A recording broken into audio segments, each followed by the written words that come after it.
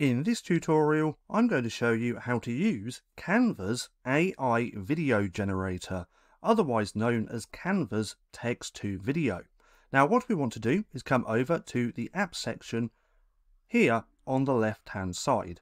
Then we want to search for Magic Media, click on there and it's going to be this first one just here. Now this is where we can also do text to image but if we look next to it, we can also do videos, and it's in beta. So all you have to do is describe a scene to generate a few seconds of video. We can also try an example just here. So if we click this little plus icon, it's going to give us a prompt. This one is a wide shot of a water lily floating in a pond. Now let's do that again. Old books sitting on a desk near a window professional cinematography. Now let's actually click on generate and let's see what we get. Now this is just going to take a few seconds for it to do its thing.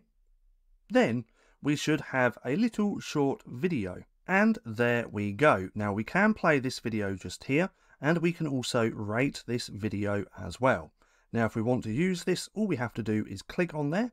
It's going to put it on the page we can stretch out as well to fit our canvas and if we press play we're going to see what that looks like.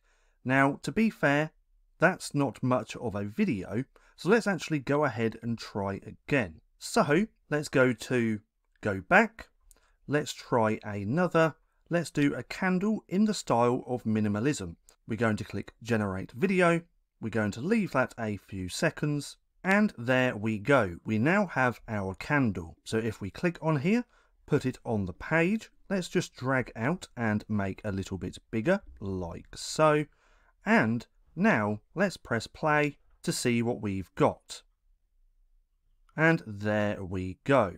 So as you can see, this text to video isn't that great at the minute, but this is still in the early stages. By this time next year, I think that text to video is going to be amazing, just like text to image. Now, if you wanted to download this, we'd simply go to share, we'd come to download, and then we'd want to choose the MP4. And we'd want to make sure that we've got the right page.